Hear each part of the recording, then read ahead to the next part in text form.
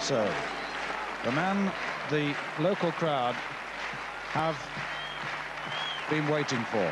The new European record holder, although the International Amateur Athletics Federation prefer not to call the performances in the new with the new javelin this year records, rather best performances.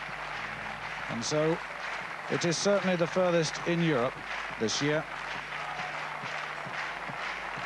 Now, can he extend it?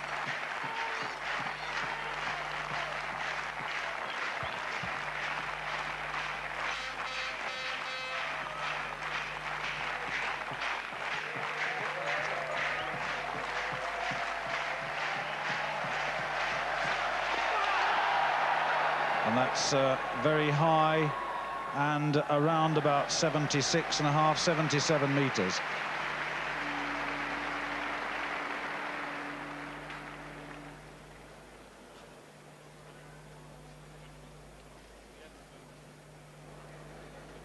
It dipped very badly at the end but then that's the nature of the new javelin.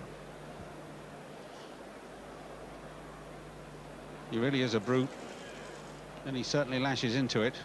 And as we said earlier, if he gets it right, it's going to go a long way. And when he got it right, it did. And he's the leader. Now, it's an absolutely still, warm evening. And these javelins are aerodynamic and they really want a head-on wind in order for uh, it to fly properly.